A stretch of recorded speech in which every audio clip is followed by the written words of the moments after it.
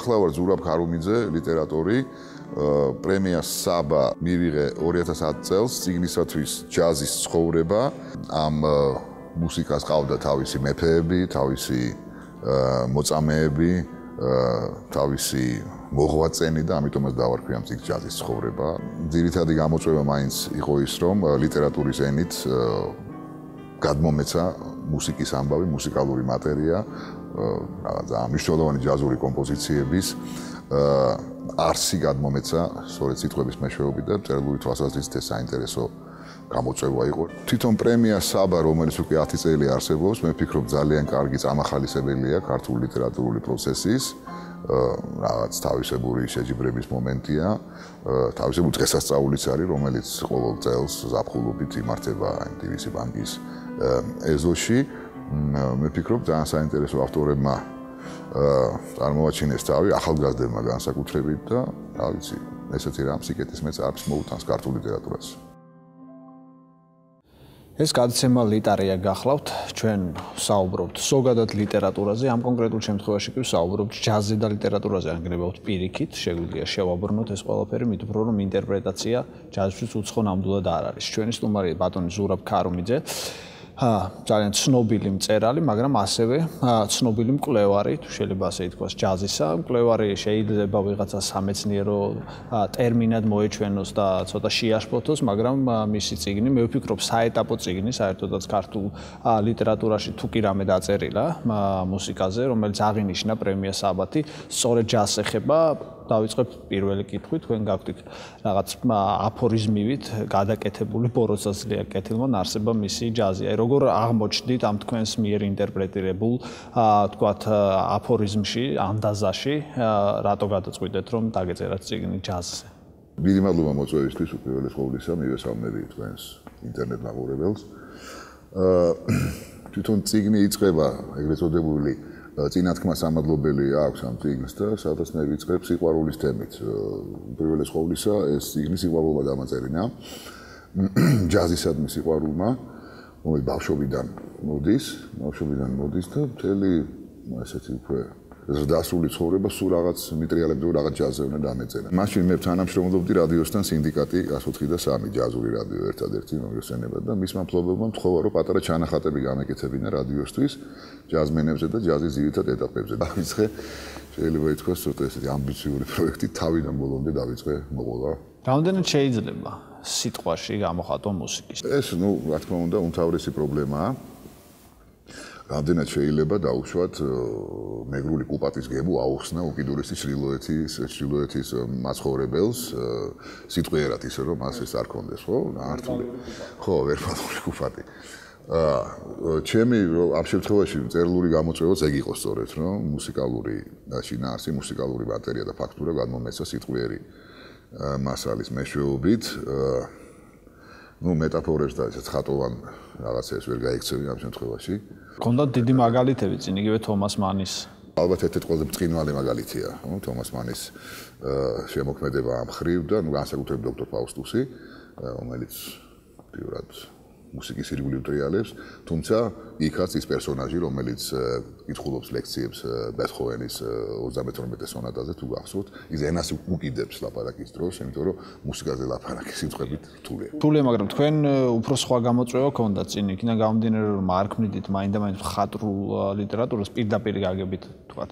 ამ ხატრულ ლიტერატურას უნდა გასულიყავით ბეწვის ხიძზე რაღაც აზრით, იმიტომ რომ უნდა დაგეწეროთ კონკრეტული ამბები გამონაგონის garaშე, ოღონდ ეს უნდა ყოფილიყო ხატრულად შეფულა. ამ თვალსაზრისით შეიძლება თქვათ იგივე აი რაღაც მურაკამი გავიხსენოთ ან თქვათ კორტასარი პირველ იმას უპასუხებ ჩემი მანამდე დაწერილი ტექსტები იმდენად უსიუჟეტო იყო და ამბავს იმდენად ნაკლებად გულისხმობდა რომ პირიქით ძალიან სასიამოვნო და ახალი რაღაცა იყო რაღაც ამბავს ყვებოდი იმ ლიტერატურული აპარატით რომელიც თავშოთ სხვა ტექსტების წერისას მიმუშავებდა მაგრამ აი ამბის მოყოლა აი ეს ღერძი რომელიც ქონდა ეს საფუძველი რაღაცნაირი რომ ჩემი წარმოსახვა ძალიან შორს არ გაფრენილიყო, პირით კარგიც კი აღმოჩნდა და მე სულთურად რაღაც ახალი, ჩემთვის ახალი ტიპის რაღაც ტექსტი გამომივიდა, რომელიც ყველაზე ლაღად და კარგად იკითხება, რაც კი აქამდე დამწერია იმ ტექსტებს შორის.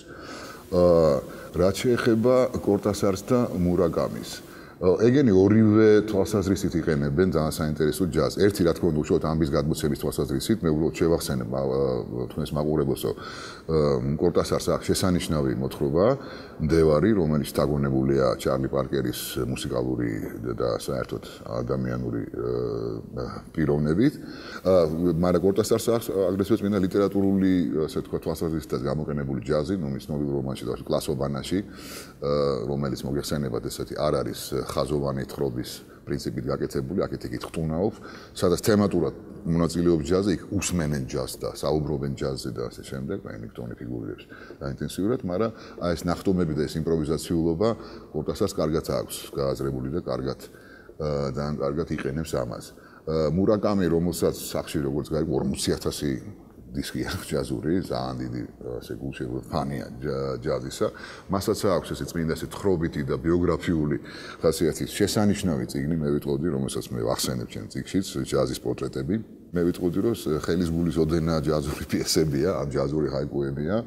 ძალიან ხშირად ეს არის ესეთი ღია ფორმის, აი როგორ ჯაზში არის ხოლმე და დაუნთავრებელი ჰარმონიული სვლები და ასე შემდეგ, შესანიშნავი წიგნია.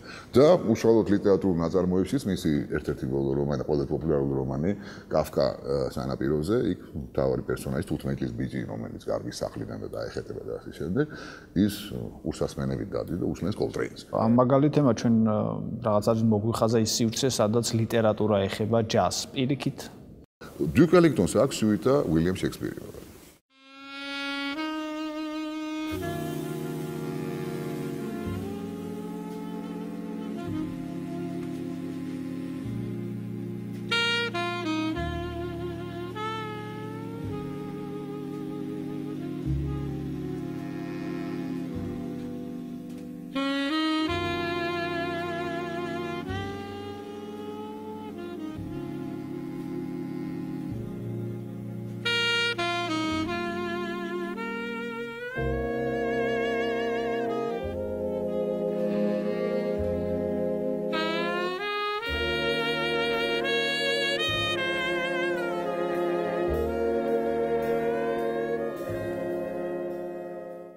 როგორც სიმფონიურ მუსიკაში შეიქმნა ასე ვთქვათ ეგრეთ წოდებული აი საგნობრივი მუსიკა რასაც ქვია ნუ რიხარ შტრაუსის მაგალითად ასე იწოდა ზარათუშტრა და ასე შემდეგ თემატური ჯაშიც არის ეგეთი რაღაცეები არის შესანიშნავი თანამედროვე საქსოფონისტი დევიდ მერი პოსტმოდერნისტი საქსოფონისტი და პროგრესული მუსიკოსი, მას აქვს ასევე სუიტა თავისი ჯაზ კვარტეტისა და სიმებიანი კამერული ორკესტრისთვის ევგენი ონეგინი ქვია.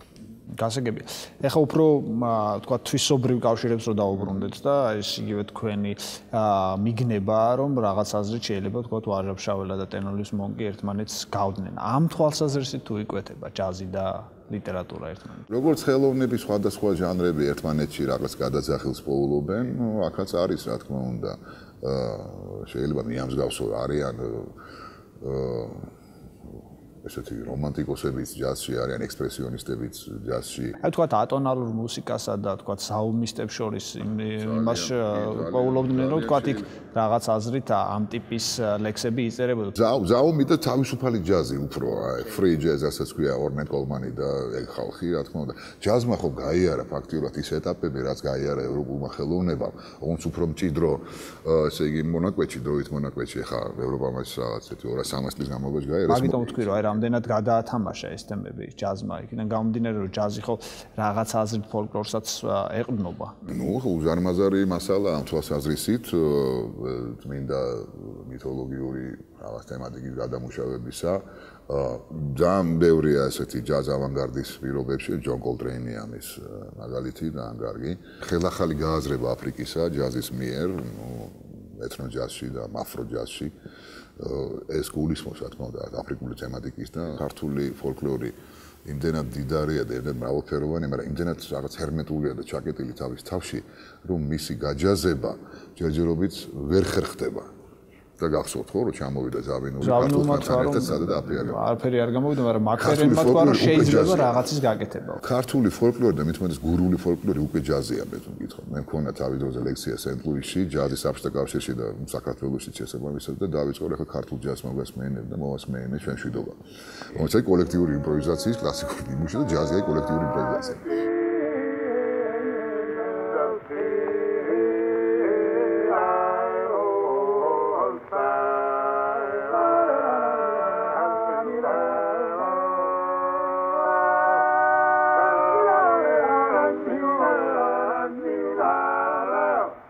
ამერიკული ერთი ძალიან ცნობილი თქვათ რაღაც გამოთქმა მე ფილმში გადააზრებული თუ გამოვიტანოს ჯაზზე და ჯაზში ქართველები არიან? ჯაზში ქართველები არიან, ვერ ვიტყვი რომ ძალიან დიდი რაოდენობით არიან, რაღაც ეპიზოდური მომენტები, ეხა დიდი ისტორია რო ავიღოთ ჯაზისა, იქ პრაქტიკულად არ არიან. თქვათ აზერბაიჯანელი წარმოადგენელი აზერბაიჯანელი არის და საკმაოდ ძლიერად არის, იმიტომ რომ ვაგიფ მუსტაფაზადემ არა უბრალოდ რაღაც იმიტაცია მოახდინა ამერიკული ჯაზის, არამედ თავისი ჯაზის შექმნა აზერბაიჯანული მუღამის და ჯაზის ფიუჟენით და ეს მან გააკეთა 60-იან წლებში, მაშინ როდესაც ჯო ზავინული ეგეთ რაღაცებს ჯერ აკეთებდა, ანუ ეთნომუსიკის და ჯაზის შერწყმა მაშინ ჯერ ახდება. ჩვენთან მაინც უფრო იყო რაღაც, აი, კაი გაგებით იმიტაციის მცდელობა ტიპური ამერიკული ჯაზისა და საკმაოდ კარგი შემსრულებლები ყავდა, მაგრამ ძირითადად ეს იყო ფორტეპიანოზე შემსრულებლები. კომპოზიტორი არ ყოლია. კომპოზიტორი როგორ არ ყოლია? არა, ისეთი რომელსაც გავლენა შეეძლო მოეს. ხუებზე არა, ეგეთი რამე არ ყოფილა, მაგრამ ჩვენ კომპოზიტორებს ძალიან ბევრი ჯაზური ელემენტები აქვს, რაღაც გუგული თორაძის მუსიკას რო უსმენ, იგივე ფილმისათვის დღე პირველ დღე უკანასკნელი, რამოდენიმე ესეთი კომპოზიცია, რომელიც ძალიან ჯაზურია და მეტიც არის მაილს დევისის ერთი კომპოზიცია, Willow Wisp, რომელიც ძალიან გავს. ისე როგორც სიდნეი ბეშეს კომპოზიცია. ყვავილების გავს ბევრს ნახავთ ესეთ ლეპტიფლორ და ყვავილების ქვეყანა თითქოს ერთ სტრუქტურაზეა დაახლოებით ერთ დროს არის დაძე ქართულ ლიტერატურაში თუ არის ჯაზური თემების გამოყენება? ჯაზური თემები მე ანტიკშის მიწერია. გრიგოლ რობაქიძე იწყება პირველად ის ახსენებს ჯაზს ქართულ ლიტერატურაში რომანში პალესტრა თავისებურ სტილში რა თქმა უნდა. და ნუ პერიოდის ჰესეს მაგალითად ზულდა. ხო ჰესეს ზულდა რა თქმა უნდა მაინც ისეთ კულტურულ ფონზე ყოფებოდა თუ. იმიტომ რომ რაღაც ავტორებს ევროპულ ლიტერატურაში ქონდათ წინააღმდეგობა ჯაზმენ ხმაურის მუსიკას ეძახდნენ. კი, ნუ მაინც უფრო პრიმიტიულ ხელოვნებად მიიჩნევდნენ, სულ აგრე პრიმიტიულ ხელოვნებად მიიჩნევდნენ. სიმართლე გითხრათ, ეს მაინც ხდება აი ესე სვინგის ეპოქასთან დაკავშირება. როგორც კი იწყება უკვე ჯაზში თვითონ მოდერნიზმი და როგორც კი იწყება ბიბოპი თქვა და როგორც კი ჩდებიან პარკერი, მონკი, შემდეგ კულ ჯაზი ვითარდება, შემდეგ მოდალური ჯაზი და ავანგარდი, იქ უკვე ევროპელი ინტელექტუალების და ლიტერატურები ძალიან სერიოზულად უყურებენ. და ეს ეთქობა კიდე თქვა მათ რეცენზიებს, რომელიც ხშირად იწერება ხოლმე. ძალიან საინტერესო ლექცია აქვს ლეონარდ ბერსტაინს ჯაზის შესახებ 2016 წელს კოლუმბიას ტელევიზიით მან წაიკითხა ორი კურსი და ჯაზის და ლიტერატურის ასე ვთქვათ დაახლოებით მასადრისი.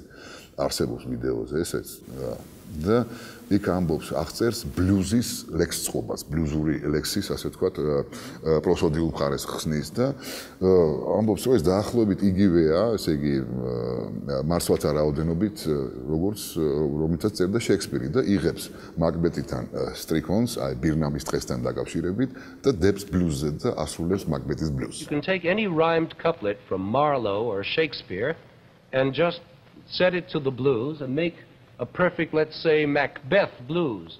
I will not be afraid of death and bane till Burnham Forest come to Dunsinane. It makes a charming blues. I will not be afraid of death and pain.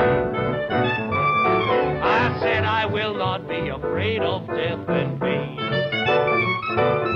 Till Burnham Forest come to Dunsinane. განმაგარია.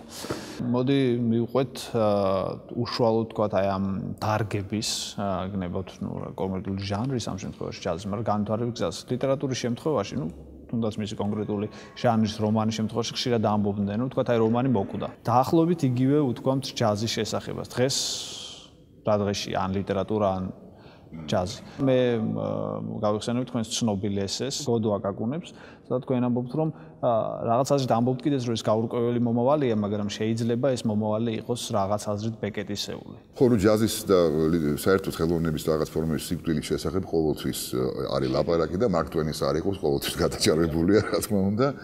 ოღონდ გადაჭარბებულია, იმიტომ რომ ეს ფორმები მაინც აგრძელებენ აგრძელებენ არსებობას. არის დაცემის პერიოდები, შემდეგ აღმავლობის პერიოდები. რაღაცა ფორმები თხოვენ განახლებას უბრალოდ, ლაპარაკია სწორედ ამ განახლების მოთხოვნილებაზე. რაღაცა ფორმებმა ლიტერატურაში და ხელოვნებაში ამოწურა საკუთარი თავი. ეხლა რატო დავწერე მე ის ესე, რომ აი 9 11 სექტემბრის ამბებმა კიდე ერთხელ დამანახა რაღაცნაირად, რომ აი პოსტმოდერნმა როგორც ის აქამდე იყო, თავის თავი ამოწურა. ამაზე სხვაგანაც დაიწერა სხვა შორის მე ესეები, რომ აი პოსტმოდერნის ერა კი არა ზოგადად კაცობრიობაში რაღაც ტიპის ეპოქა დამთავრდა. დამთავრდა და რაღაც მოლოდინია, რაღაც ახალი მოდერნიზმის, მე ვიტყოდი. ანუ დაახლოებით ისეთი მდგომარეობა, როგორც ეს იყო, სადღაც აი პირველი მსოფლიო ომის. ვინ მუშაობს? აი თქვა უინტონ მარსალესი უფრო მუშაობს თქვა ამ მიმართულებით, ჰენკოკის ტიპის მუსიკოსები უფრო მუშაობენ თუ თქვა ჯონ ზორნი, რომელიც ცდილობს რომ ყველაფერი არიოს. ჯონ ზორნი უფრო მუშაობს პირდაპირ გეტყვის ვიდრე უინტონ მარსალესი. პოსტმოდერნი არსებობს ორი მიმართულების. ერთი არის ნოსტალგიური, რომელიც წარსულზეა ფოკუსირებული, ანუ ზურგი დგას მომავლისაკენ და წარსულს ხელახლა კითხულობს და ჯაზის შემთხვევაში უინტონ მარსალესი ამის დიდოსტატია, იმიტომ რომ მას აქვს შესანიშნავი გრძნობა ჯაზის ისტორიისა და ჯაზური ფორმების და მისი განვითარების სხვადასხვა ეტაპზე. მეტიც აიღო და წარმოიდგინა და მომახდინა ბადი ბოლდენის, აი პირველი ლეგენდარული შემსრულებლის რეკონსტრუირება, რომლის ჩანაწერი არ არსებობს, ხო, მაგრამ წარმოიდგინა ეს ყველაფერი და მე მჯერა რომ მართლა ეს ბადი ბოლდენია, როცა მარსალისი ასრულებს ამ კომპოზიციას. არის მეორე უფრო პროგრესული, ინოვაციური პოსტმოდერნი, აი რომელშიც გავიყვანდი მე ზორნს, რა თქმა უნდა.